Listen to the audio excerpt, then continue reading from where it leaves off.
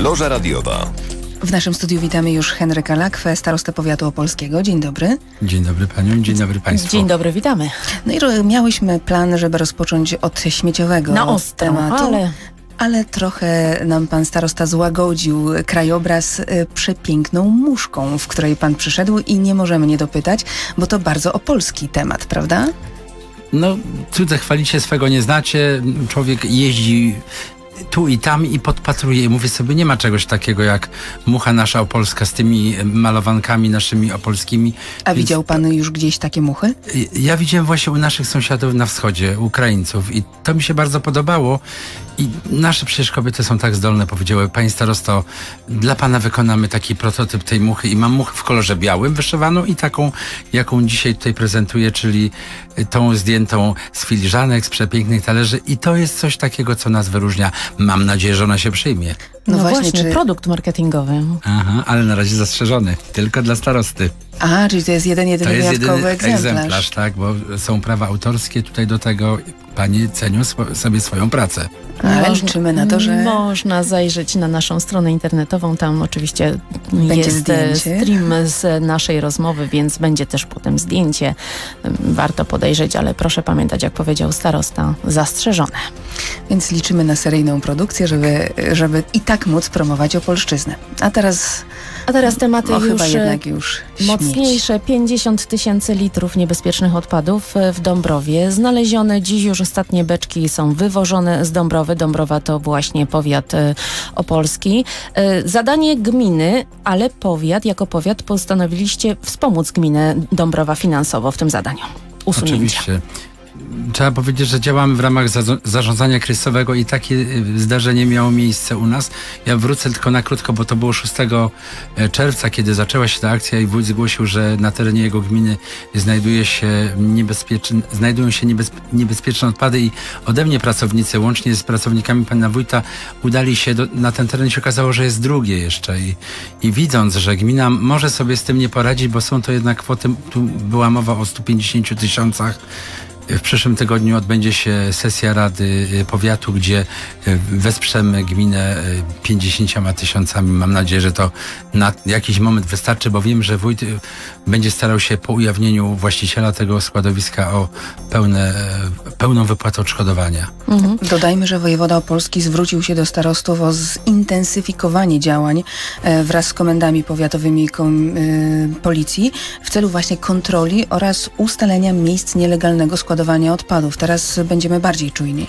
Ja myślę, że, że byliśmy, bo może o tym się nie mówiło, ale wójtowie, burmistrzowie poprzez y, swoich pracowników, poprzez y, swoje służby, poprzez sołtysu, poprzez y, przede wszystkim OSP, jak gdyby szczególnie po 12 y, czerwca, kiedy wyszło to pismo od pana wojewody, monitorują to. I wiem, że moje służby otrzymały informację, że na dzień dzisiejszy jakiegoś zagrożenia nie ma, aczkolwiek dzisiaj Jesteśmy akurat takim powiatem, gdzie jest dużo miejsc takich trudnych do zidentyfikowania. Do zidentyfikowania, bo ludzie pracują za granicą. Y, Tereny są opuszczone. Każdy może wjechać, zostawić coś. I tu tylko czujność właśnie tych osób, które wymieniłem na dzień dzisiejszy powodują, że możemy się czuć bezpiecznie. No dobrze, ale będziecie, przygotowujecie, rozumiem, taki raport dla wojewody, tak? Y, Tak. Raport z tych właśnie naszych 13 gmin, które y, na dzień dzisiejszy żadnych informacji niepokojących nie ma, ale wtedy też nie było niepokojącej informacji, natomiast się okazało, że y, 8 lipca nagle płonie No tak, bo coś, oprócz co jeszcze beczek nie było jeszcze było składowisko I kolejne, czte, tak, i cztery dni właściwie y, i Państwowa Straż Pożarna łącznie z OSP gasiły.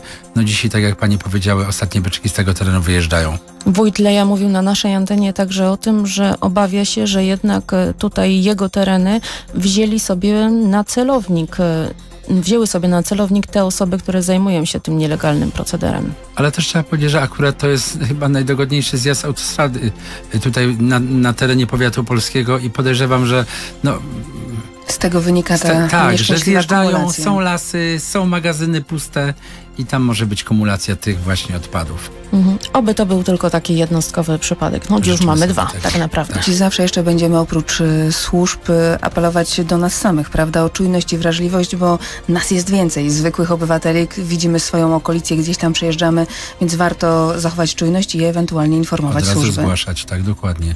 Wracamy do rozmowy z Henrykiem Lakwą, starostą powiatu opolskiego i rozpędzamy się rowerowo, tak? Ale zanim o rowerach, to musimy zapytać w imieniu naszych radiosłuchaczy, CEPIK już działa, bo wczoraj była awaria w starostwie. Nie działa. O, Dramat. a dramat. wiemy dlaczego? Y, Tutaj nigdy No informacji to nie jest otrzymujemy, bo to jest awaria. Nie mamy Tak, sygnałów, żeby to tak, była ogólnopolska tak, jakaś awaria. Od wczoraj u nas nie działa.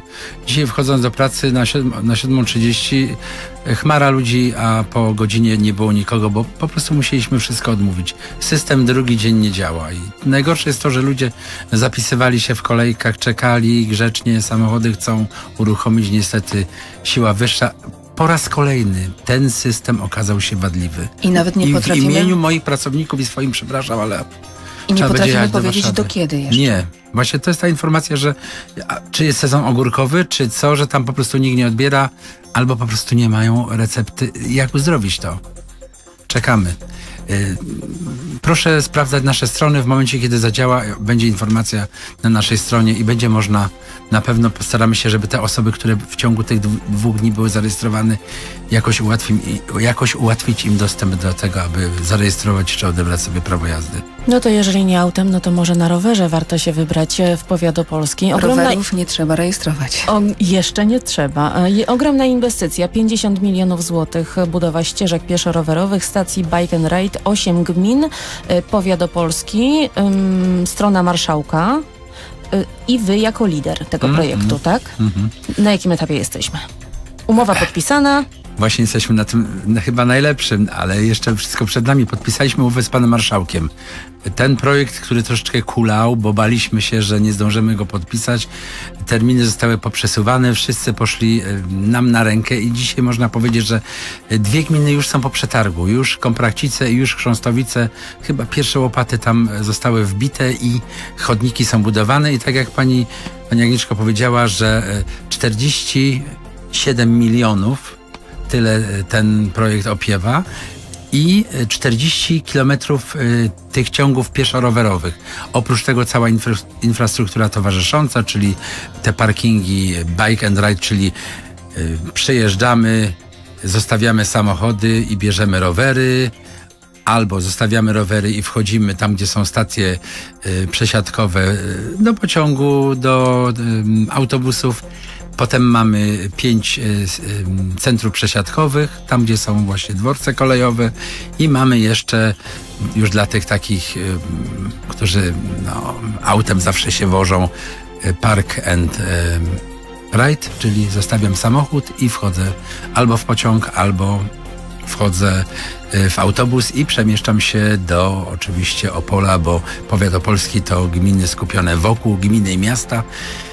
Ale celem tego nie jest, bym powiedział, przemieszczanie się, a jest ograniczenie emisji y, dwutlenku węgla i po prostu czystsze powietrze dla naszych mieszkańców. Taki jest cel główny i założenie tego projektu, bo jest to drugi etap. Pierwszy etap to budowaliśmy ścieżki na terenie e, dwóch gmin, e, na terenie gminy Popielów i gminy Dobrzeń Wielki oraz składkę pieszo-rowerową e, na moście jadącym do Dino Parku w Krasiejowie. No i to, Natomiast- co najważniejsze w tym projekcie, to właśnie to całościowe spojrzenie, bo często narzeka się, że tutaj jedna gmina sobie wybuduje kawałek ścieżki, druga gdzieś tam i później nie mamy tych ciągów, prawda? Gdzieś tam się kończy, zaczyna, a tutaj mamy to spojrzenie z perspektywy y, wyższej, no i ufamy, że ogarniemy wtedy całość. Ja myślę, że tak. Tak jak powiedziałem, wszystkie drogi prowadzą do Opola przez powiat opolski i tutaj właśnie gdyby, szkoda, że nie ma e, wizualizacji, bo byśmy zobaczyli, jak pięknie dzisiaj, wcale nie, nie posiadając e, samochodu, można przemieścić się dla zdrowia do centrum Opola. I takie jest za założenie. Mam nadzieję, że do 2019 roku większość tych prac zostanie zakończona. Tak jak powiedziałem, dwie gminy już pracują, a reszta jest albo na etapie ogłaszania przetargów, albo przygotowują specyfikacje do. ale wykraczacie poza powiat, bo wiemy, że w tym projekcie bierze udział na przykład też Lewin Brzeski. Tak, są to wszystko samorządy, które są skupione w aglomeracji opolskiej i ten projekt jest właśnie dofinansowany y, z, y, y, poprzez aglomerację opolską. Gmina Lewin Brzeski buduje piękne centrum przesiadkowe, y, bo zapomniałem powiedzieć, że oprócz tego, że powstaną ciągi pieszo-rowerowe, y, nasze drogi powiatowe zostaną y, poszerzone do, do 6 metrów, drogi wojewódzkie, przy których będą te ciągi poszerzone do 6,5 metra, to przy tych drogach i chyba najwięcej właśnie w gminie Lewin Brzeski powstanie nowe oświetlenie LEDowe, czyli to, które no, jest zdrowsze i jest tańsze. Mhm. Także to też jest innowacja, że te ciągi będą oświetlone, czyli obojętnie kiedy ruszymy, zawsze będzie można się przemieszczać i można się czuć bezpiecznym. 2019 powiedział pan, czyli już... Albo może i dłużej. To zależy od tego, jak samorządy y, zdążą. Mam nadzieję, że to jest y, finansowanie do 2020 roku, więc myślę, że możemy zahaczyć jeszcze i o ten kolejny rok, który będzie. Część samorządów już wbiła łopatę. No ja muszę zapytać w imieniu mieszkańców, którzy utyskują na to, że wciąż nie ma ścieżki rowerowej do Turawy. Ten element projektu? No, jeden, jeden z większych. Drugi chyba co do wielkości. Najdroższy element składowy tego przedsięwzięcia to Łubniany, bo tam są y, droga wojewódzka z drogą y, powiatową. Natomiast ciekawy jest właśnie projekt, który będzie realizowany y, przez gminę Turawę, czyli ścieżka od Turawy Park do Zawady, z Zawady do Kotorza, z Kotorza do Jeziora Wielkiego ogromna praca. No, podziwiam tych, którzy to będą e, projektować albo zaprojektowali i tych, którzy to chcą wykonać. Zapraszam wszystkich do tego, żeby składać swoje oferty. A już można, tak? E, w przypadku e, Turawy chyba jeszcze nie to, yy, to już trzeba pytać czasu. u źródła tak, w gminie, tak, tak? dokładnie. Wspólnie i w porozumieniu działacie, ale mm. każdy swój element musi zbudować. Z czego skorzystamy my wszyscy, czyli rowerzyści, piesi, a także użytkownicy samochodów, bo dla nich to też e, przecież oferta przesiąść się i zdrowiej e, dla siebie i dla otoczenia dotrzeć Dokładnie. do pola. No i teraz popytamy o osoby starsze. Najwyższa Izba Kontroli alarmuje wręcz, bo takiego słowa się używa, że w wielu miejscach w Polsce, w wielu gminach nie ma w ogóle zapewnionej opieki y, dla seniorów y, tam, gdzie mieszkają, y, bądź w jakiejś najbliższej okolicy, choć to są przecież zadania własne samorządów. Jak to wygląda na terenie powiatu opolskiego? Ja powiem tak, że wiemy dokładnie, że jesteśmy społeczeństwem starzejącym się i on dzisiaj wiemy, że przybywa osób, którym trzeba pomóc. Wiemy też, że są ich e, dzieci, wnuki poza granicami. I trzeba było jakoś zabezpieczyć im mm, ten, ten czas, kiedy no, nie ma kto im e, poświęcić czasu, a wiemy, że e, opieka poprzez gminne ośrodki pomocy społecznej jest niewystarczająca, bo tam jest kilka pań, które ma, że tak powiem kolokwialnie, do obsłużenia czterech czy pięciu naszych podopiecznych i nie są w stanie tego zrobić tak, powiem, może z sercem, ale czasu brakuje. I zrobiliśmy coś, co nie jest naszym zadaniem, bo jest to zadanie e, gminy, ale mając przy sobie doświadczenie i logistykę w postaci Domu Pomocy Społecznej w Pruszkowie, otworzyliśmy e, pod koniec e, tamtego roku dom dziennego pobytu, który no, na początku tak otwierali wszyscy oczy, mówi, ja pierdzielę, co to będzie? Przecież ja tam mamy nie dam, ani taty nie dam, ani dziadka nie dam. No jeszcze no jednak wstyd. to pokolenie jest, które tak. jest wychowane w tradycji że, e, śląskiej, że trzeba się, tak, starzykami trzeba się opiekować. Co ludzie powiedzą. Tak. No i już łamaliśmy wszystkie stereotypy. E, pani przyszła, która zaczęła reklamować, ale potrzeba było rzeczywiście czasu. No jak się okazało, że tam są osoby, są i małżeństwo jest, i są osoby e, pojedyncze, które wyjeżdżają, zwiedzają okolice, którym się, które spotykają się ze specjalistami, które mają czas zajęty, które mają dwa posiłki i nie są to drogie, bo finansuje to Urząd Gminy, bądź jeżeli jest osoba majętna, to sama jest sobie w stanie to sfinansować i dzisiaj naprawdę za chwilę będzie przepełnienie tego profilu domu dziennego pobytu i oni wiedzą, że to jest najlepsze, co może być dla tych ludzi kontakt z innym człowiekiem. Czyli nie jest to przechowalnia, nie jest to miejsce, w którym się Nie, wegetuje, nie. tylko wręcz można się rozwijać. Z tego, Talenty mówi. są, tak, talenty są pokazywane, bo jest i pichcenie, i robienie na drutach, i, i wycieczki. Okazuje się, że ludzie jeszcze pamiętają i wspominają wczesne lata tych miejsc, do, których teraz przybywają. I powiem szczerze, że e, idąc za tym ciosem, w tamtym roku daliśmy znowu wyzwanie e, dyrekcji, że chcemy, żeby powstał e, dom dziennego pobytu dla osób ze schorzeniem Alzheimera. Takiego czegoś nie ma, a wiemy, że tych ludzi jest, jest dużo. E, Pruszków nie jest e, oddalonym daleko od Opola, jest dobrze skomunikowany i myślę, że również to będzie e, coś takiego, magnes dla tych osób, które opiekują się tymi ludźmi. Żeby, złapać chwilę wytchnienia. tak, żeby mogły pooddychać trochę, bo u nas będzie fa fachowa opieka i naprawdę będą y, się nimi zajmować y, osoby, które no, mają serce do tego, bo osoby, które pracują w domach pomocy społecznej, wierzcie mi, to są osoby o wielkim sercu. No może nawet bym powiedział nie do końca dobrze wynagradzane za to, co robią. A kiedy No wystartuje właśnie, ten tak dom? sprecyzujmy. Gdyby ktoś już był zainteresowany, kto jest Ja myślę, że we wrześniu mają być zakończone prace budowlane i wyposażenie, ale dajmy czas jeszcze na zbudowanie kadry i od października ten właśnie dom dziennego pobytu dla osób z tym schorzeniem będzie uruchomiony. A zgłoszenia można już e, gdzieś przesyłać, składać wnioski? Ja, ja myślę, że, że procedura będzie taka, że e, cała dokumentacja idzie poprzez ośrodki pomocy społecznej na terenie, której mieszka osoba z, z tym schorzeniem. To trafia później do Powiatowego Centrum Pomocy Rodzinie i później trafia do Domu Pomocy Społecznej, który tą osobę e, przygarnie. Można, można uzyskać informacje właśnie już e, w Powiatowym Centrum Pomocy Rodzinie. To ma być dom dziennego pobytu. Dom dziennego pobytu, tak.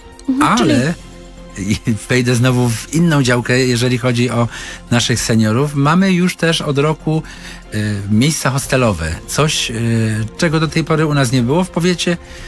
A problem był, bo przecież każdy z nas chce wyjechać, odpocząć, chce pojechać na urlop. Co zrobić z babcią, z dziadkiem albo z starszymi rodzicami? Którzy wymagają ciągłej opieki. Tak, całodobowe opieki. I mamy dwa e, mieszkania e, dla dwóch osób z węzłem sanitarnym, z pełnym wyżywieniem właśnie w tym domu e, pomocy społecznej. Tam można, e, jadąc na wczasy, zafundować wczasy właśnie też swoim rodzicom, osobom niepełnosprawnym, bo będą się nimi opiekowali specjaliści i będzie pełne wyżywienie i dobre. I mam nadzieję, że nawet mogą się spotkać z tymi, którzy tam pieką, szydełkują i plotkują. Powiedział Pan o tym całym otoczeniu domu, pomo- domu y, pomocy społecznej, a jeżeli chodzi o sam dom pomocy społecznej, są kolejki oczekujących? Jak widzi Pan tę sytuację samego domu pomocy społecznej? Dom Pomocy Społecznej to jest dom, e, bym powiedział, dwuprofilowy, główny. W, w zamku mamy osoby intelektualnie niepełnosprawne i też zmieniają się tendencje, bo do tej pory był to ośrodek dla e, kobiet i były to kobiety z całej Polski. Dzisiaj mamy już dosyć duże grono mężczyzn, czyli to są ze schorzeniami e, psychicznymi osoby, a w budynku browaru i byłego szpitala mamy e, oddział somatycznie przewlekle chorych, czyli dom spokojnej starości. O ile tam aż takich kolejek nie ma, aczkolwiek też musimy przegrupowywać czasami, żeby tych mężczyzn dokoptować, o tyle w, w domu spokojnej starości, ale mówimy o tych właśnie są intelektualnie niepełnosprawnych, są kolejki. Są kolejki, bo tak jak powiedziałem, nasze społeczeństwo się starzeje i rzeczywiście dzisiaj coraz częściej odchodzi się od tego, że ja się muszę zajmować mamą, tatą, babcią, dziadkiem i oddaję jednak. Czyli ten alarmistyczny ton Najwyższej Izby Kontroli jest uzasadniony. Ja myślę, że tak, że tak. To jest temat y, chyba, który będzie rozwiązywał się jeszcze przez kilka lat, dopóki nie wypracujemy jakiegoś modelu, który nam, no wreszcie, y, szeroką gamę różnych propozycji da. Tak jak myśmy skorzystali z tego.